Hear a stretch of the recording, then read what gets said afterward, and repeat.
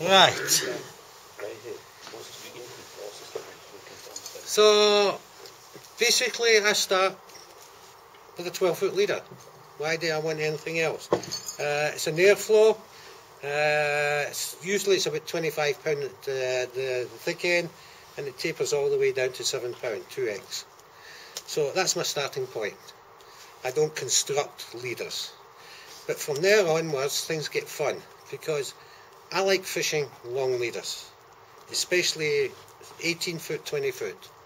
And if you tie another 6, 10 foot, 8 foot onto this, you're going to have problems casting it. So something came up, and I was reading in a magazine, it wasn't my idea, and the construction was quite simple. You had your leader, then you went down to your 6 pound, your 4x, and then you went up So we're not allowed to do that in competition. Are you not? Then you went up to twelve pound. Then you went back down to four. So what happens is you've got a tapered leader. Then she goes up, and then she goes down again. Now with that extra bit, with a long leader and with three flies on, you can turn over a 20 foot leader, no problem whatsoever. And what's nice as well with that is that you put floating on a thick piece of mono, it acts as an indicator. It's the same thing. Soft hackles a little numbers. But doing that construction, so I've got my 12 foot leader, then I've got my 3 foot of 6, you know, 6 pound, then I've got 3 foot of 12 pound, then I've got my tippet, which is, is 3 4 foot of 4 pound. And that extra weight gives you a fantastic turnover, especially on long, long leaders. Right. A few other tips I've been picking up and doing. Um, when you tie two lines together, doesn't matter which way you want to do it.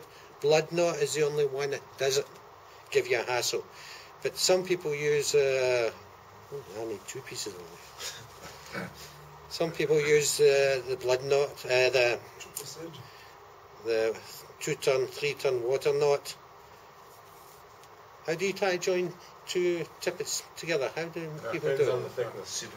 Okay, how do you do it? But what- a surgeon for thin stuff and a Yeah. for thick stuff.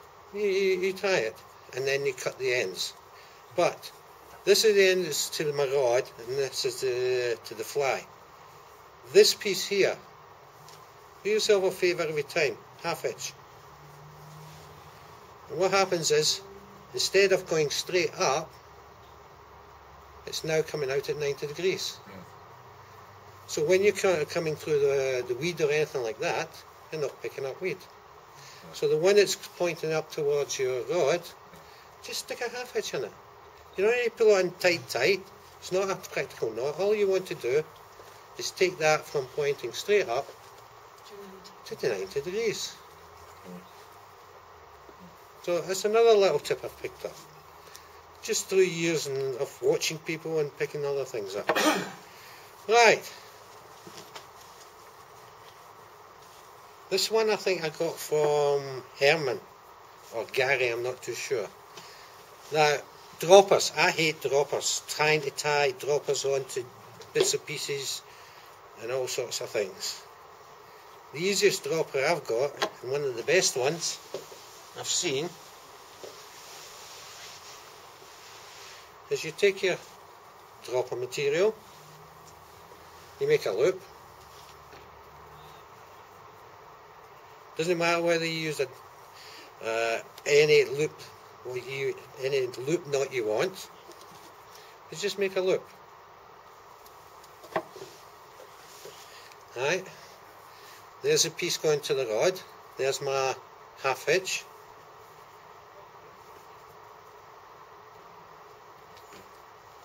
You like free swinging drop see? type thing. yeah. And you've actually got a dropper that doesn't tangle with anything, it actually spins around.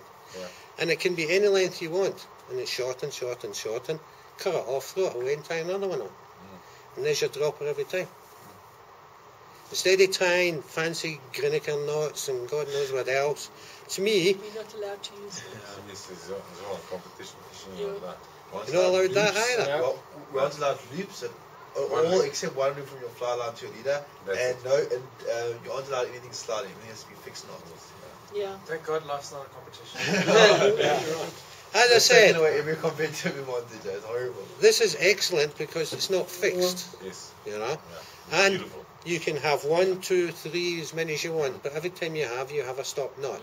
No, what's nice as well when we used to use that is that we, you can hear that slider knot, but every time you you want to fish a bit further up the water column, Yeah. you just made a knot, knot in the leader and you stop that like a, like another stop. Yeah, you can move this actually up if you want to and Yes, change the depth, and uh, put in a, a, a nail knot in here, mm. you know, and it would like a stop knot, and it stops there. So you can actually change the, the, the distance between your droppers. It's just another way of looking at things. Yeah. Because I hate trying to, because I end up putting the wrong one, cutting the wrong one, and you end up not enough material. Once you cut it short, what do you do? Your dropper's With a gone. cigarette in the end, burns through the other side. Yeah. That's So- why This is great, and you, you know, I mean, you just cut it off when you want, even if it's still on. You just put the next one on and you slide it down. So you can, because me, I like my my droppers to be that long. Tie my knot and move it down and then cut it. Charlie, on your droppers, are you using sort of um, sort of six x, seven x tippet? Then you can use whatever you want Same size. because you've got your main line, and this is just a dropper. Yeah. You can use whatever you want. You're not restricted with that thing, this, that thing, this, whatever you want. This could be anything you want. Just don't make it thicker than this one. No. no, I'm just thinking this, this, you know, the smaller it is, the less spooky. But what, You see. what the other thing is that the guys normally make the droppers even a bit thicker in the main line because it, it's stiffer. Or they make, or they make like mono Make it fluoro better. fluoro droppers. Yeah. It's make- so make it it won't sit well. Well, what's that was just the other thing is what's the nice thing about that is it always sticks out at 90 degrees mm. because the way that it goes on, and the loop goes on, it always sticks out at 90 degrees. Yeah. It's not sticking up the way, sticking down the way, and trying to do this, trying to do that. It's always sticking out at 90 degrees. Now, I was hoping more people would be here so I could. A lot of other people probably won't know these things, but most of you guys, you are professionals.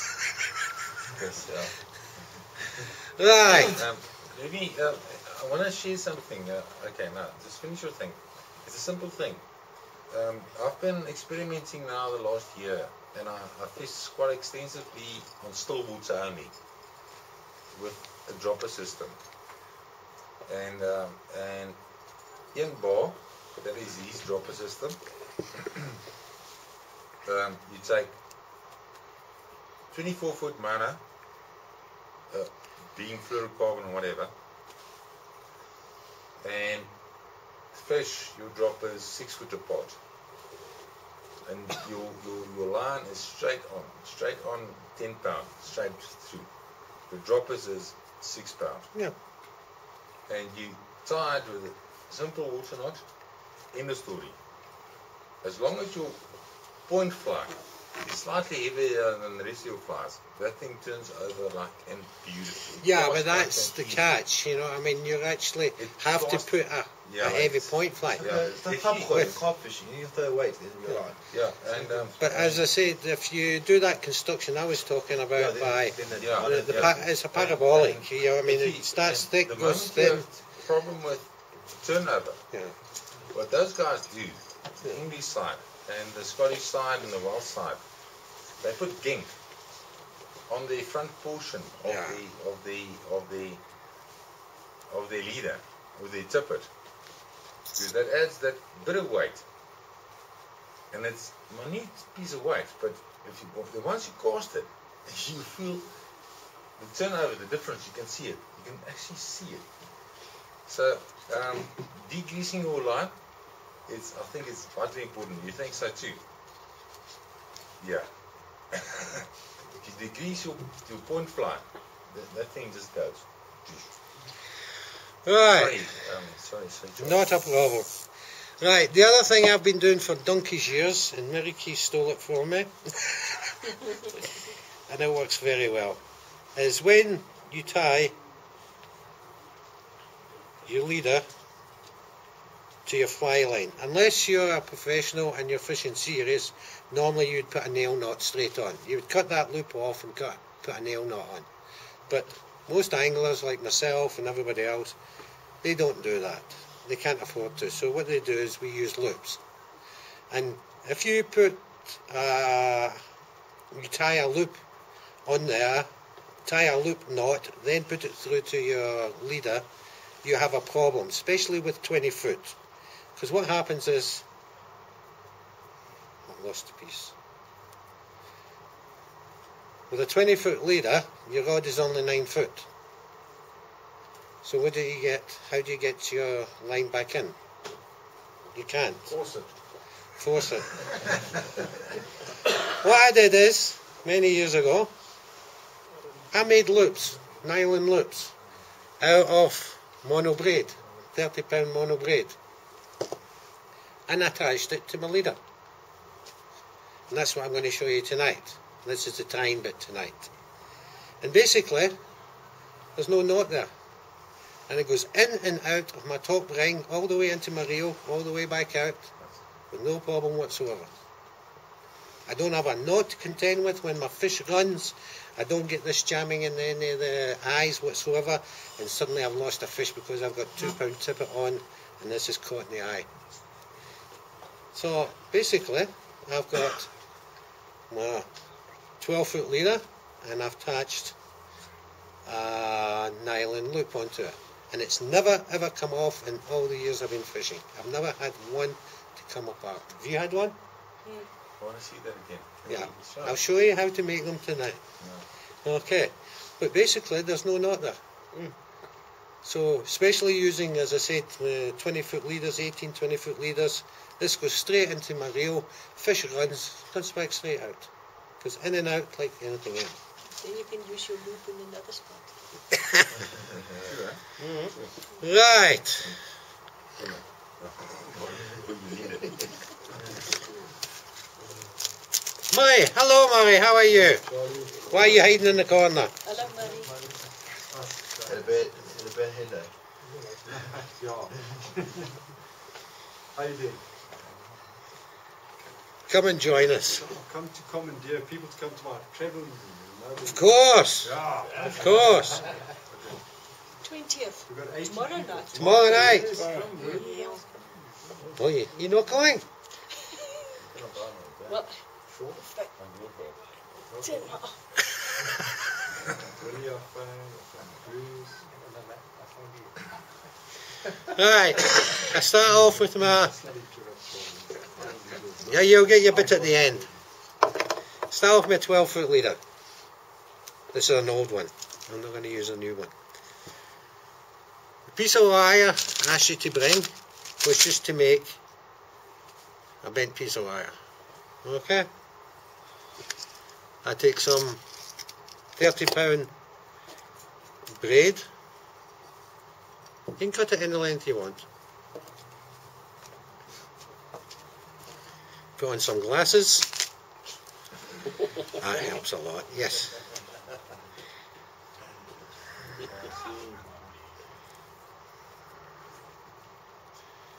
Put it through the hole in the middle.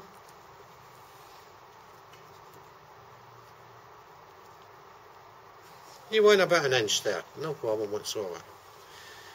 Stick it through. Put the other one in between.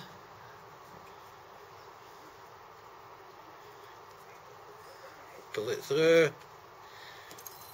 So you got loop with a double sheath. Okay. And you can adjust any size you want. Center core. I just cut that off. Right, and what I do, the center core one, I put it back through again. My needle. All the way through the double. You see I'm going all the way up.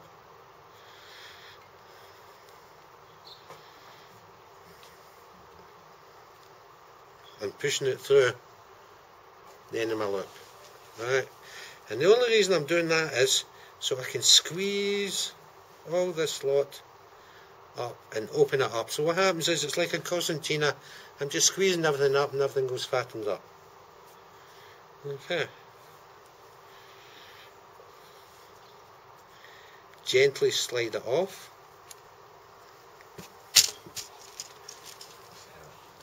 Glasses are failing now.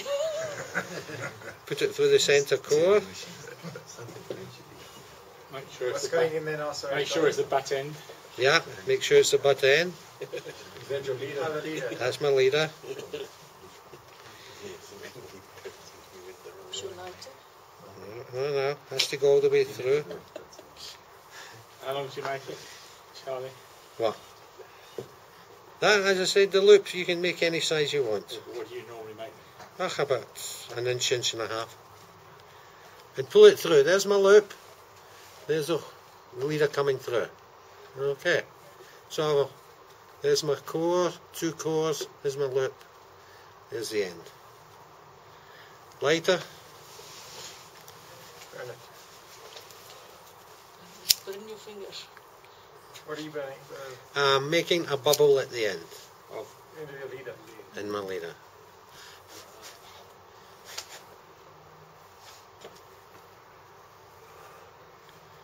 Now I tried it before without a bubble and you can actually pull them apart. And I just slide the bubble in. Right. So the bubble was right there. Then I got my cores and I got my leader.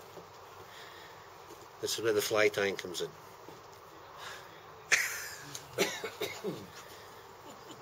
We've done plenty of these. Yeah, What thread have you got there, Charlie? six oh. Rod building thread. Yeah, six oh is not the word building. It's eight oh actually. I got eight oh. Yeah. You can use any colour. The spinning action tightens things up. Okay. I've got a loose thread. Below the, below the bubble. Yeah. I've got a loose thread. I want to get rid of that. Cut that off. So what you've did is actually made a whip finish there. One more finish. Right. Okay. Now. Yeah. yeah, you hit yourself under the chin. I've done that before. Not your best scissors. If you use your best scissors cutting nylon, your scissors are destroyed. Okay. So Use your wife's one. you can, in fact, you can actually use uh, nippers. You can actually use nippers as well. You know. So you fray the end up all the way up to where your thread's finished, stripping all that away.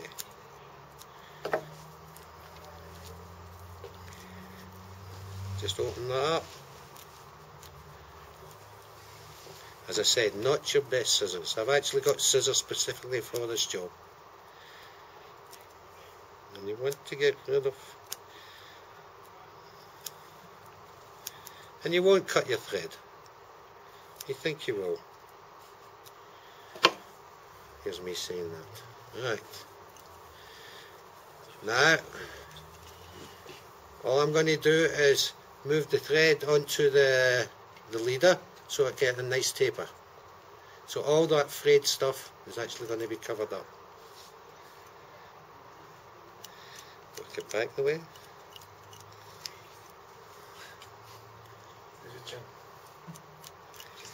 Yeah. Ah, it takes.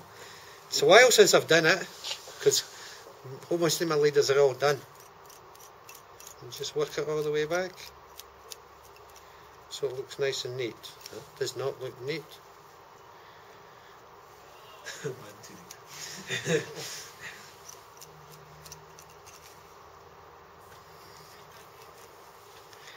Right. The thonga thread or the floss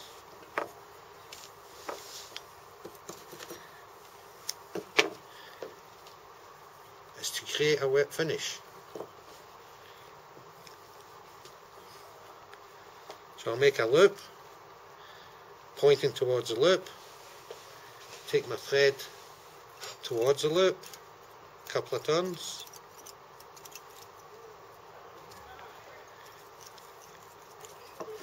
Give yourself enough thread there. Put it through the red one. I always use different colours so I know which one's which. So what I'm doing is creating a whip finish, but a tight one.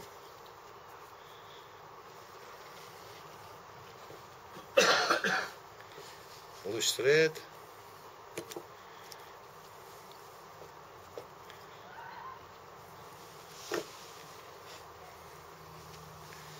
Super glue.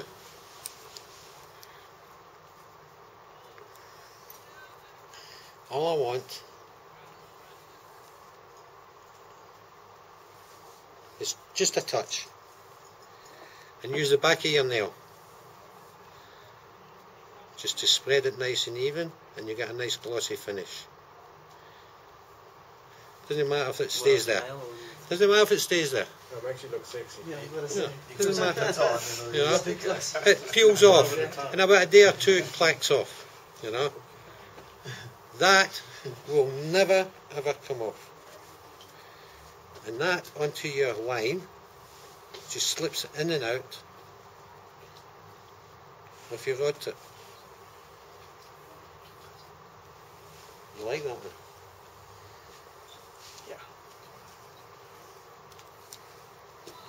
Do you think it's still a bit wet?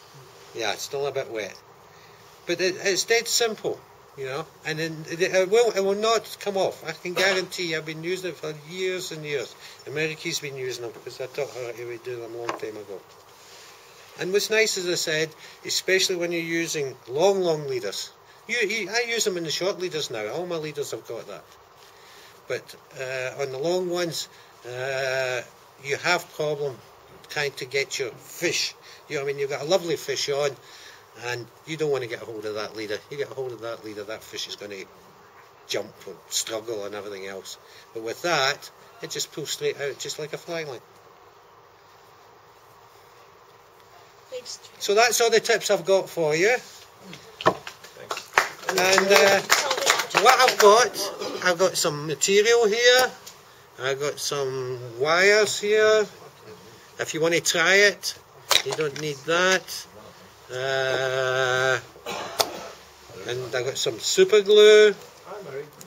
You know just you know just stuck the tablecloth to the table, but let's not worry about that. Okay. So if you want to try it, and I've got some, I've got 20 pound, pa- 25 pound mono here. Just cut yourself a line, just to try it. This weekend, yeah. If you didn't bring a leader, Why do you do them the leader? the fly line's got one. Oh, well, yeah, okay. It's loop to loop. Uh, yeah, You see, if you look at that, that's come with the loop on it. if you look at that, That's come with the loop on yeah. it. But not all. But no, if you don't, you just put a loop on there. Exactly the same thing. system, yeah. Same, same principle. Exactly the same thing. All you You run got, them, you run them both, both with the loop. oh yeah, and it's a loop to loop. You see, Yeah. that's that's a already impregnated loop, and there's nothing there. It goes in and out. Very. No, you don't pull them off. No, I'm sure you don't. Sure, you can push stop now. Eh? Sorry? Sure, you can push stop now. Oh, Yes. I've got a question to ask. Yeah. Um, with that, uh, with finish,